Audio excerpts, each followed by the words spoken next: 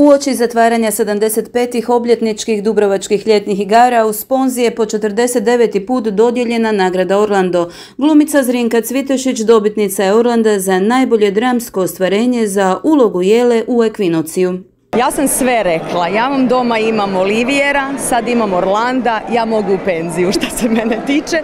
Mislim, može i ovo treće na ovo, neću se bunit, ali meni je dovoljno, evo, za, za ovaj život dovoljno.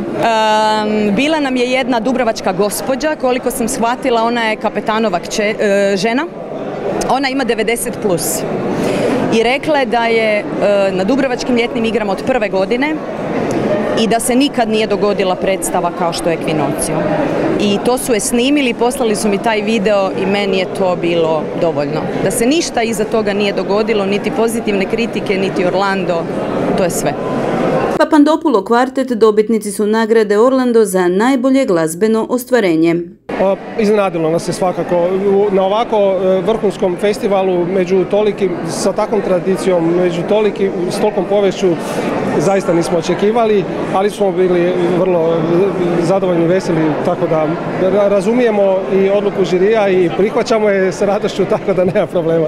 Vas je četvorica, tko će doma imati Orlando, hoćete se mijenjati? Pa mi bismo voljeli da grad Zagreb nama jednu prostoriju dodijeli za zajedničko vježbanje i već imamo ovoga plan da tamo onda počnemo slagati e, na neku policu jer e, još kako već do sad imamo neko priznanjce, neku diplomu pa dobilo lijepo mjesto. Do tada možda ćemo držati u glazbenoj školi Jastrebarskog gdje se najčešće sastajemo zbog e, naših tečajeva i seminara za mlade ili kod nekoga na akademiji ili doma, ne znamo još. Grand Prix Orlando za izniman umjetnički doprinos u ostvarenju cjelokupnog programa Dubrovačkih ljetnih igara u više festivalskih sezona pripao je Simfonijskom orkestru Hrvatske radiotelevizije. Dubrovačke ljetne igre su naš najstariji festival, nacionalni festival na kojem je doista Simfonijskom orkestru Hrvatske radiotelevizije koji svojim radijskim i televizijskim emitiranjem pokriva cijeli teritorij Hrvatske mjesto upravo na nacionalnom festivalu. E, već deseti put ove godine Simfonijski orkestar tradicionalno zatvara e, Dubrovačke ljetne igre i to je neko mjesto koje, koje nam je posebno drago u našem kalendaru i kojeg bismo voljeli i dalje zadržati.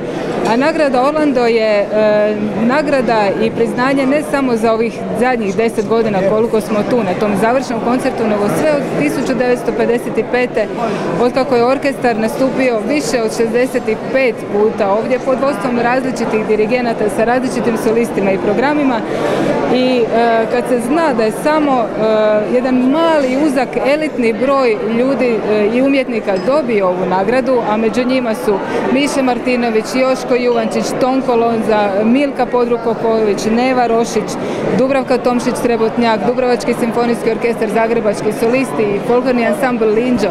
Dakle, sve ih mogu zapamtiti, malo ih je da je među to elitno društvo uvršten simfonijski orkestar, onda možete značiti, možete znati koliko je to e, veliko priznanje za nas i koliko je to postreh za daljnji rad i motivacija da se radi dalje jednako i bolje.